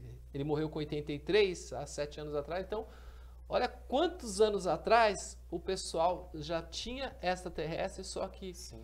Hoje eles não têm mais tempo para prestar atenção Sem nos dúvida. céus, andar numa trilha de um trem ou escutar o mais velho falar e Sem contar dúvida. a história do que aconteceu. Se você pegar o, os próprios teólogos, eles encontram esses pontos na Bíblia. Se você pegar as lendas da criação dos povos nativos, você encontra essas aparições, a vinda dos povos das estrelas. Tem até uma historinha, é, é muito curta, vou falar rapidamente. Pode falar. Onde eles estavam nos céus, né? E aí desceram por cordas até a terra. Só que aí tinha um menino levado que foi lá e cortou as cordas e aqui eles ficaram até hoje. Uhum. Ou seja, são várias histórias de diversas culturas, em diversos lugares do mundo, e a própria sabedoria é, popular, né, natural das pessoas, já identificavam isso, né? Que hoje a gente está falando com outros nomes, de outras uhum. formas. Para aqueles que têm olhos de ver, né? Porque uhum. a maioria, infelizmente, ainda está presa no que a gente estava falando anteriormente, no uhum. celular, nas ilusões, no mundo egóico e não no mundo real. E esse pessoal que está preso à Matrix hoje, tem pessoas que, por exemplo, você é uma pessoa, você, o Diego, que eu vejo que vocês lêem muitos livros. Eu, por exemplo, eu sou uma pessoa que eu não leio, mas é assim, como eu sou preguiçoso, eu instalei um aplicativo no celular que ele eh, chama é, aplicativo para deficiente visual. Então, eu coloco lá em PDF e ele fala Faz tudo em áudio. Aí eu coloco na TV, então eu escuto. Mas as pessoas hoje, elas são muito presas à Matrix. O que, que você me fala sobre isso? De alguma forma é confortável. Né? Assim, é confortável também estar jogando o jogo que é imposto pela Matrix, porque sair dela ou ter consciência que existe vida fora da caverna, no próprio conto de Platão, né, o conto da caverna, o mito da caverna, só que isso é custoso porque ela vai ter que olhar para si, ela vai ter que ter uma maturidade, muitas vezes vai doer, vai sofrer, como a borboleta sofre para sair do casulo, hum. né? Mas enquanto as pessoas ainda não querem sair de tudo isso, acabam servindo a esse sistema, né? O próprio Jesus falava, não é possível servir a dois senhores, ou você serve a Deus ou você serve a Mamon. Então é a quem que você quer escolher, né? Uhum. A quem nós estamos escolhendo servir. É, as pessoas hoje, por exemplo, elas passam com você hoje na mesa estelar, passam na constelação com vocês, automaticamente você faz um trabalho lá maravilhoso, que é o que a gente está escutando aqui, a gente está vendo o trabalho de vocês dois. E ela chega na casa dela, liga uma novela, ligam esses filmes pesados, uhum. e depois de uma semana e fala, nada mudou, porque Sim. ele se reúne na sala, em vez de estar conversando, como você falou, não, vamos desligar a televisão, vamos ver o que o Lucas falou, vamos ver o que o Diego explicou pra gente. Não a pessoa simplesmente ela pega e já liga aquele filme e todo Sim. mundo fica, não, oh, mata aquele lá! E começa a pessoa a dar soco nela sozinha. O que, que você me fala disso? É, de alguma forma, é um pouco triste, né? Porque isso mostra que as pessoas muitas vezes não querem mudar, é o que eu falo, né? O trabalho da mesa é fantástico, né? Ele vai ficar atuando na pessoa por três meses, e eu sempre uhum. falo isso para ela. Nesses três meses, observe, reflita, pense, e principalmente faça o seu dever de casa, né? E se a pessoa não faz o dever de casa, se ela também não muda, milagres dessa forma não existem. Precisa do ato inicial dela em fazer alguma coisa que seja. mas aí acaba colocando na conta do terapeuta ou o próprio médico, né? Vamos pegar o exemplo do médico que é mais Uhum. casual, né? O médico te dá um remédio para tomar, você chega em Certo. casa e não toma, Uhum. aí você vai falar que não resolveu? É claro, você não fez a sua parte, né?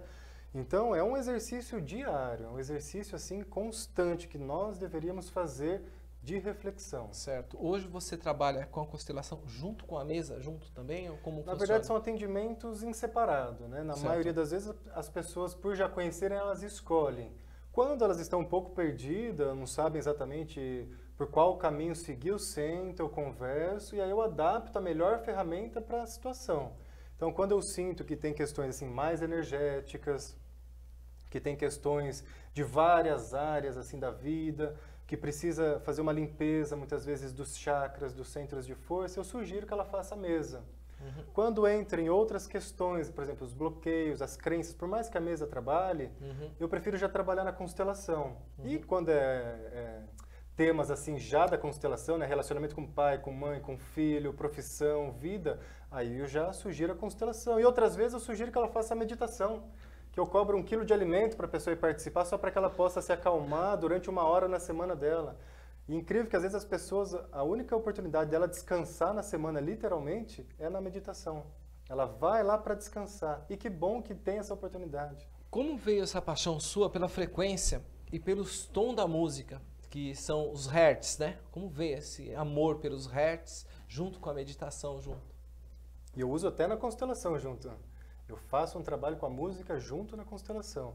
Surgiu, acredito que a partir do tambor. Né? Quando eu comecei a tocar o tambor, começar a ver a frequência, onde ele atingia no nosso corpo, eh, qual a função dele, eu comecei, opa, Vamos- eu não preciso nem falar e o som está chegando na pessoa, né? Vamos se dizer agora, por exemplo, vamos, vamos, é, iniciar uma energia agora, por exemplo, vocês todos que estão escutando agora, eu vou pedir para ele fazer um, um toque de tambor aqui, uma meditação para vocês, de energia para vocês ter bons sonos hoje. Como que seria? Podemos pode- fazer? Pode, Podemos? lógico, por favor. Então dá licença que eu pegar aqui, pessoal. Ah, e ele funciona mesmo, o microfone funciona. Funciona. Então esse é um dos tipos de tambor, né? Até um pouquinho grande. É um tambor pueblo Uhum. e o próprio toque dele ele vai diretamente nas nossas ondas cerebrais, né? Então quando a gente está acordado, que é o que a gente está fazendo aqui, vocês estão assistindo o programa, a onda cerebral, imagine que ela está em, teta, é, em beta, desculpa, ela está agitada. Sim. Só o toque do tambor, a pessoa ficar exposta a isso, ela já vai entrando em alfa, ou seja, há um espaçamento dessas ondas. Teta, delta. Eu falo que teta e delta estar consciente ali é para quem pratica muito. Positivo. A gente fica mais em alfa. Então, só do toque a pessoa do lado de lá já vai sentir esse relaxamento. Certo. Então, eu vou pedir para quem está aí nos assistindo através do Facebook, do YouTube, que possa, através do som do tambor, começar a ter uma respiração mais profunda, uma respiração lenta, sentindo literalmente o pulsar da vida através da respiração, sentindo o seu coração. Quanto tempo você não ouve o pulsar do seu coração? E através dele, você imagina que nasce uma luz. Uma luz muito bonita. E cada vez que você respira, essa luz vai se expandindo pelo seu corpo, vitalizando e ao mesmo tempo relaxando cada célula, cada músculo, cada nervo do seu corpo.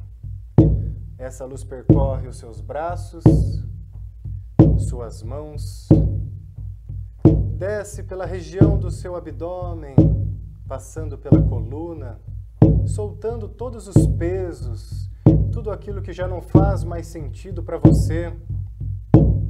Essa luz desce pelo seu quadril, percorrendo pernas, joelhos, pés. E dos seus pés essa luz desce pelo solo da Mãe Terra, entrando em conexão com essa fonte inesgotável de energia dessa mãe que acolhe, que nutre, que cuida, para que os seus pés sirvam de raízes, absorvendo todos os nutrientes para o seu corpo físico. Você vai manter a conexão através dos seus pés com a Mãe Terra. E lá do seu coração essa luz sobe pelo seu pescoço, pelo seu rosto, boca, nariz, olhos, ouvidos, lado direito e lado esquerdo do seu cérebro, saindo pelo topo da sua cabeça, indo em busca do grande Pai Céu e das forças mais sutis da criação, do Sol, da Lua, das estrelas, do seu eu superior. Você também mantém essa conexão. E as forças do grande Pai e da grande Mãe encontram-se no seu coração, proporcionando tudo o que você precisa no hoje, no amanhã, para sempre.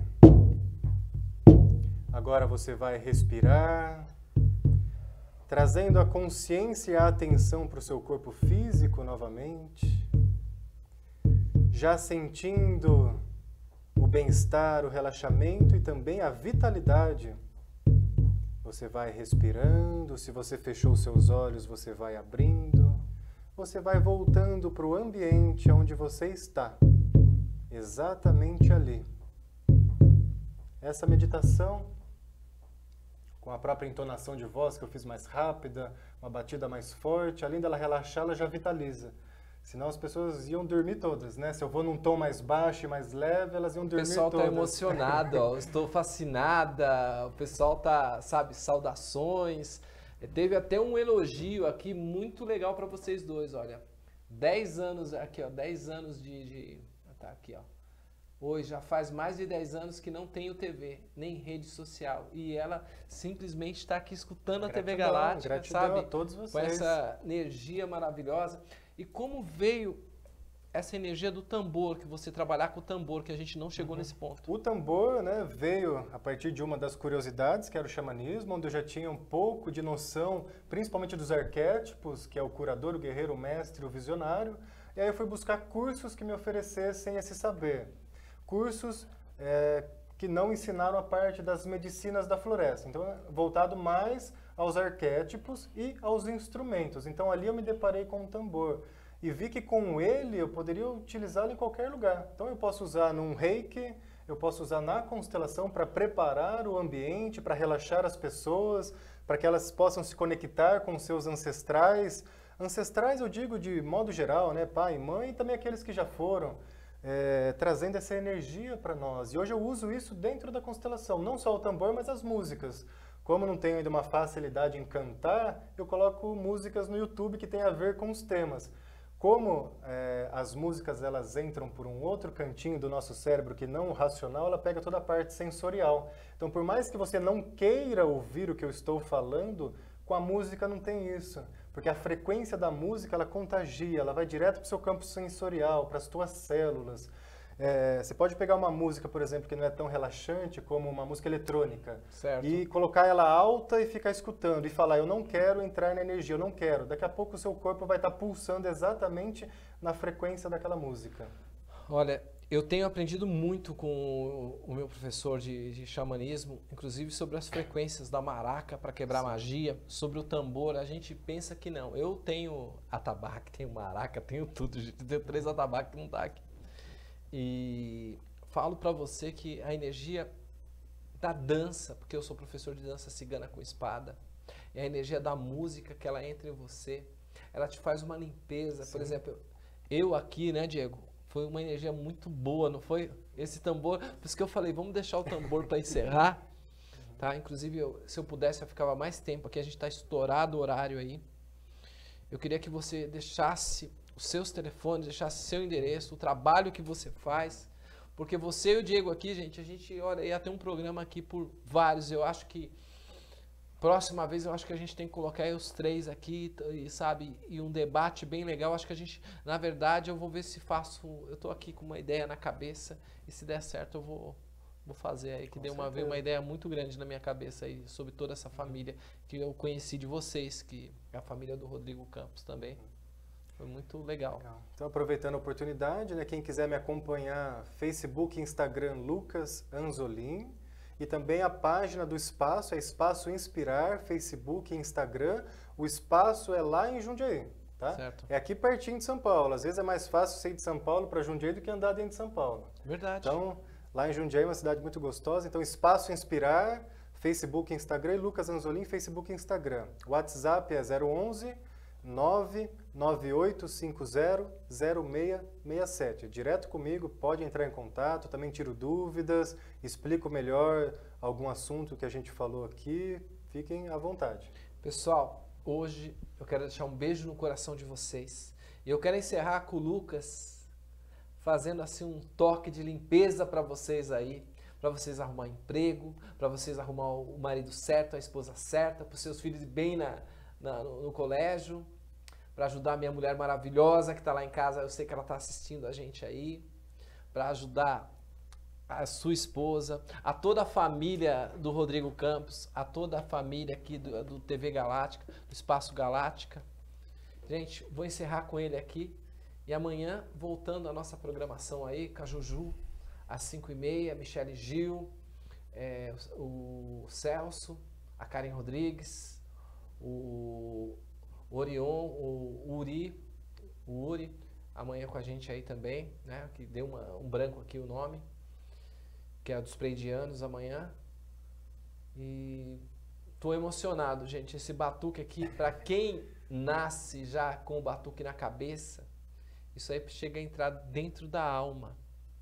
E eu que gosto muito dessa área, me emocionei, te juro que eu estou emocionado aqui, porque ele falou de uma coisa que eu gosto muito. Eu nasci com mãe, minha mãe era mãe de santo, nasci com pai na Federação Espírita. Veio um rapaz falar de tudo, os dois falaram de tudo que eu amo. Falou da constelação, gente, porque hoje eu tenho cinco cachorros.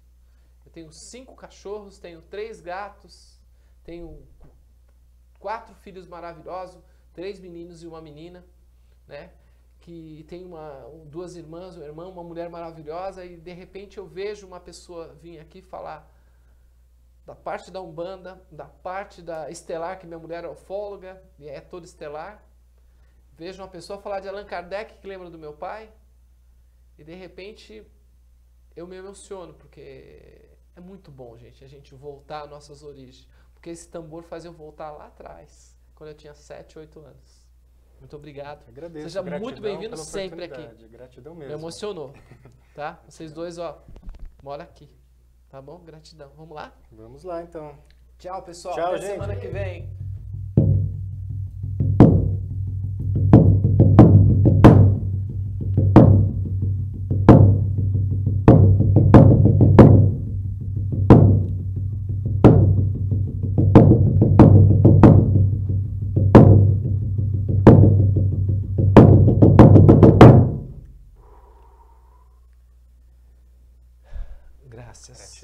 Venha sempre que precisar. Deus, muito obrigado pelo dia de hoje. Beijo no coração e muita gratidão.